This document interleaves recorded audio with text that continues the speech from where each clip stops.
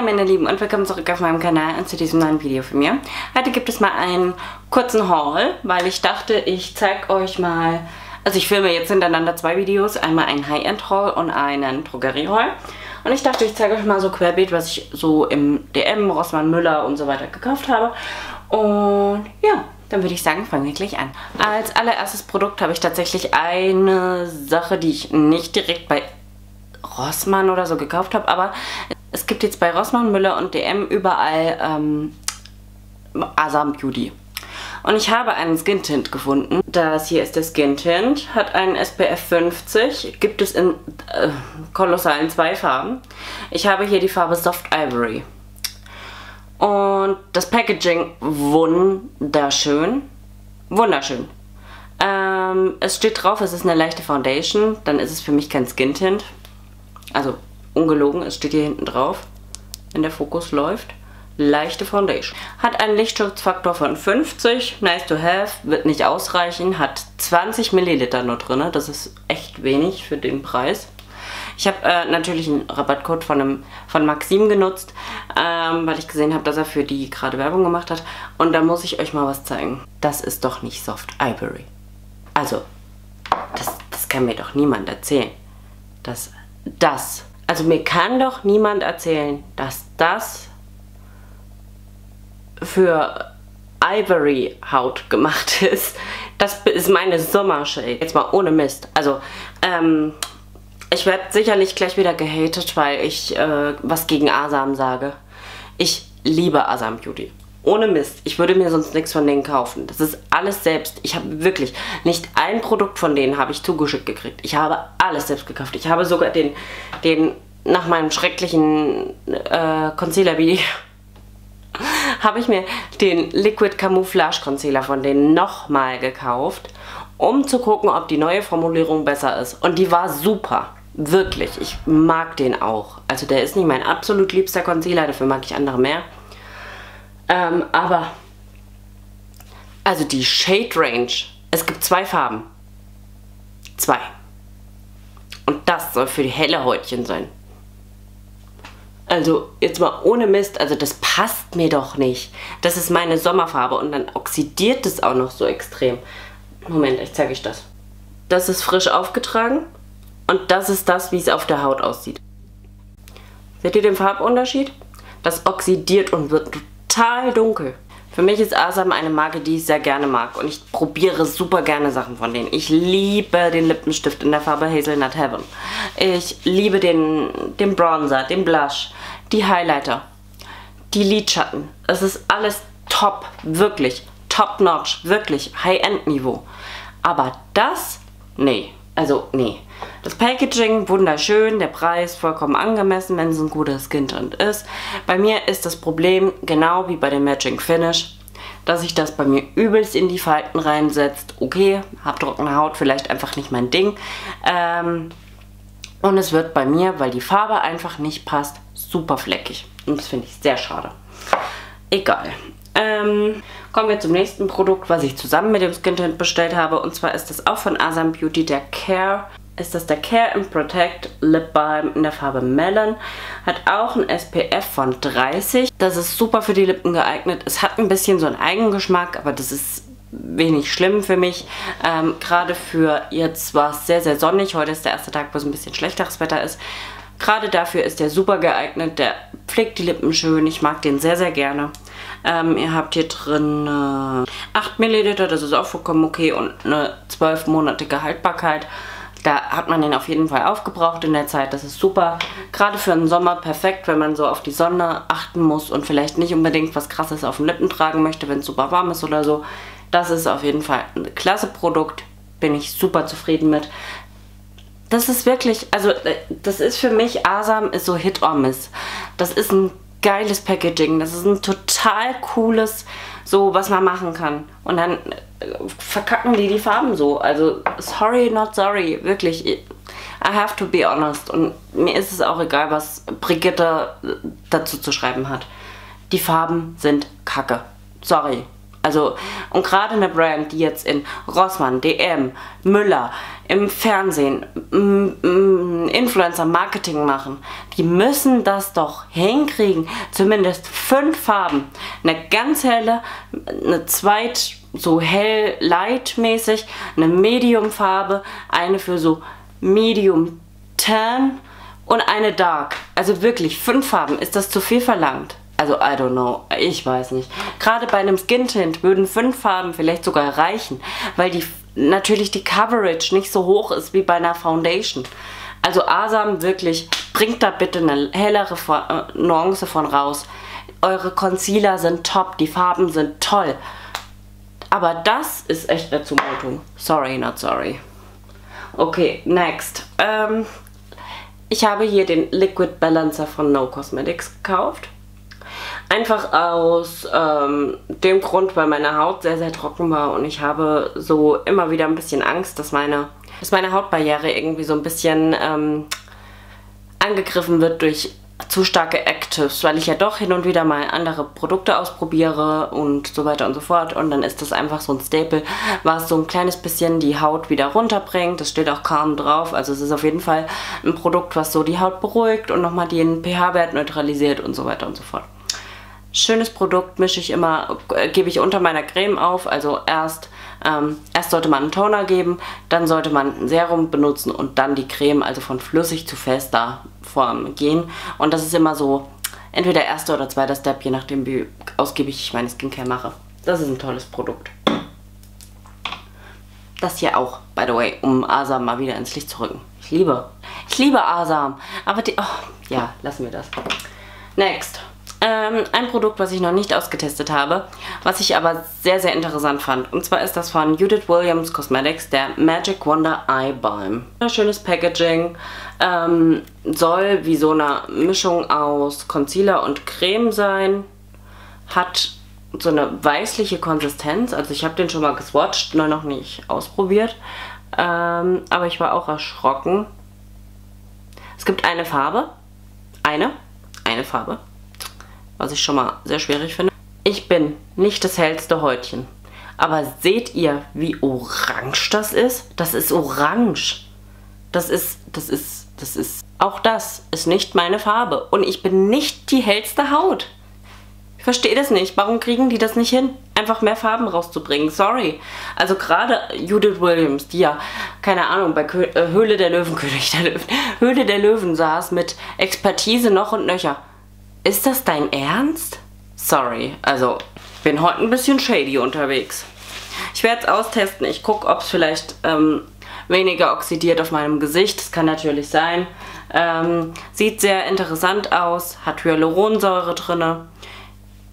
Ich werde es probieren für so No-Make-up-Make-up, ob das für mich funktioniert oder nicht. Im Sommer kann ich es vielleicht tragen, aber jetzt gerade ist es mir höchstwahrscheinlich zu dunkel. Kommen wir mal zu einem richtig geilen Produkt. Und das habe ich ähm, dem letzt erst für ein Reel ausge ausgepackt. Und zwar der Shine Click Crick? Click, Click, ja. Der Shine Click Lipstick von äh, It Up. Das ist die Farbe 30.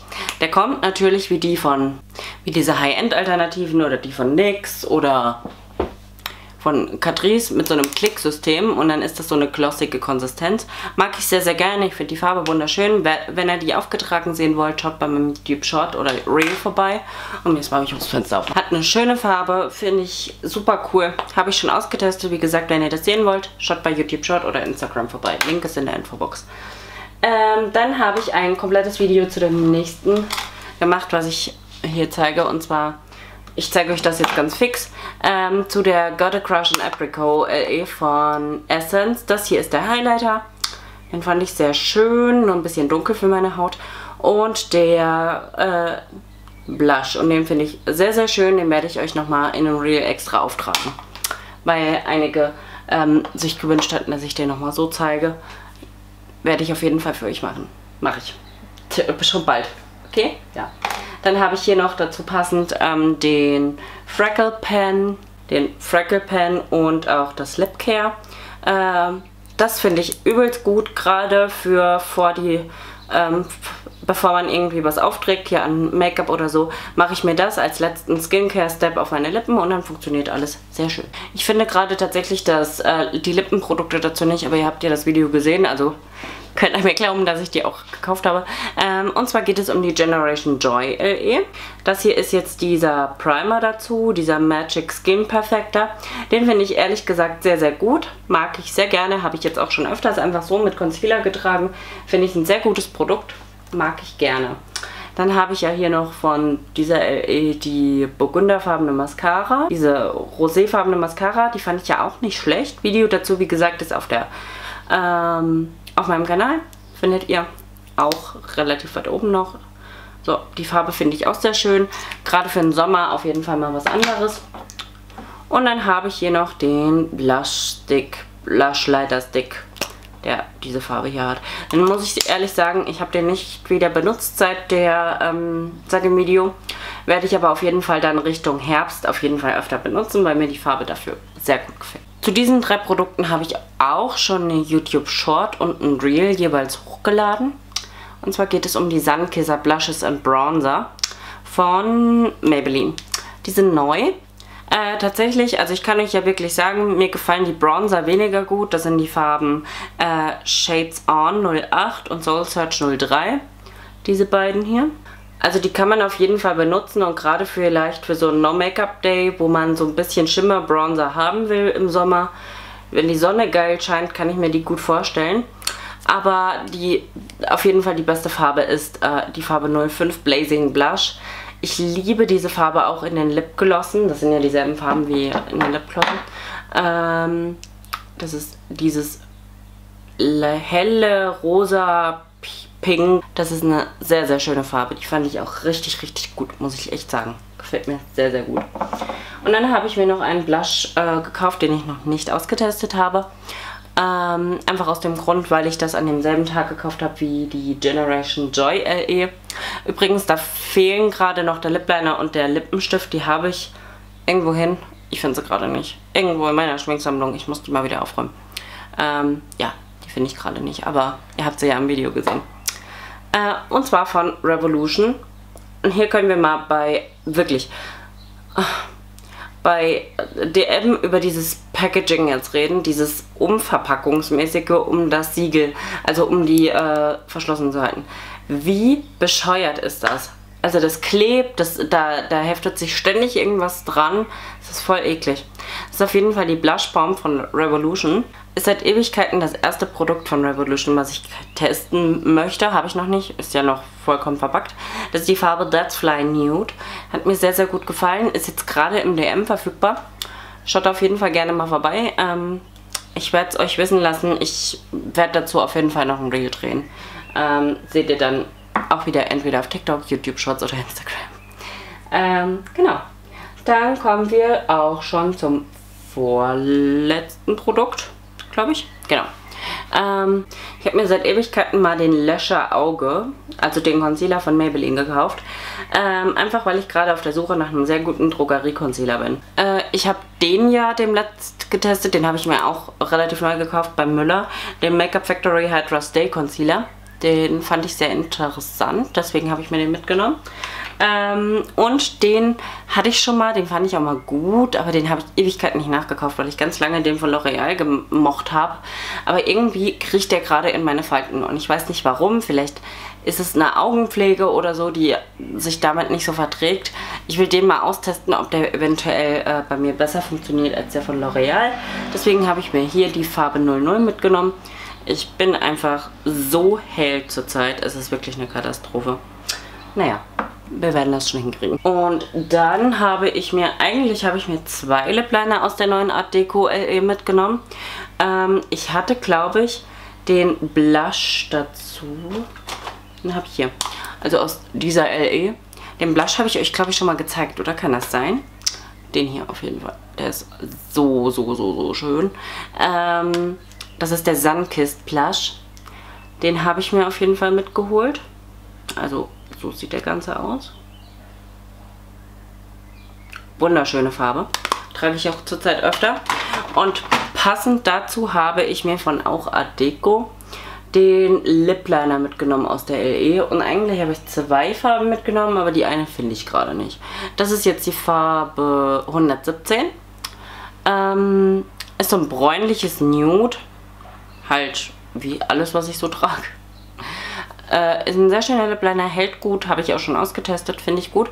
Ist in meiner Daily ähm, Routine mit drinne, aber heute trage ich einen anderen und zwar trage ich, ich glaube die Farbe Oak von MAC. Auf jeden Fall ein MAC Lip, Lip Liner. Genau. Ähm, das waren erstmal soweit alle Drogerieprodukte, die ich gekauft habe. Ähm, falls ihr irgendwie Fragen zu Produkten habt oder so, oder wenn ich euch nochmal ein Reel zu dem Asam Skin Tint abdrehen soll, das werde ich glaube ich einfach machen. Oder wenn euch irgendwie nochmal was einzeln interessieren sollte, schreibt mir das super gerne, dann drehe ich euch auf jeden Fall nochmal ein Reel dazu ab. An ansonsten würde ich sagen, gebt dem Video gerne einen Daumen nach oben, falls es euch gefallen haben sollte. Sorry für den... Also eigentlich nicht sorry, aber Entschuldigung, dass ich mich so aufgeregt habe über die Farben von dem Skin Tint. Ähm, ich finde es einfach schade, weil gerade das ist eine teurere Marke als Revolution oder so. Also die müssten eigentlich schon dafür sorgen, dass die Shade Inclusivity ein bisschen höher ist. Egal. Ähm, ansonsten, falls euch das Video gefallen haben sollte, trotz meiner Negativität, gebt dem Video gerne einen Daumen nach oben und abonniert meinen Kanal, damit ihr keine weiteren Videos mehr verpasst. Es wird in dieser Art und Weise auch nochmal ein High-End-Haul online gehen, deswegen, ich weiß gerade nicht, welches Video erst online geht. Ich glaube, das hier. Ähm, ansonsten, aktiviert gerne die Glocke, drückt da zweimal drauf, damit ihr auch benachrichtigt werdet, wenn das nächste Video online geht.